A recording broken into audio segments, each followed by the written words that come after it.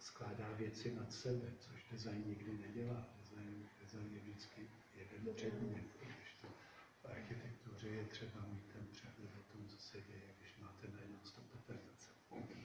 Nebo podobně. Nebo garáže pod barákem, Hmm, to je ještě další, lepší. další úroveň. A, a tohle to myšlení, tohle to celiství myšlení, a, já z hlavy nedostanu a ne, ani nechci dostat. Designéři se prostě dívají na ten objekt, který mají před sebou, který vidí. A- Někam je a- umístí.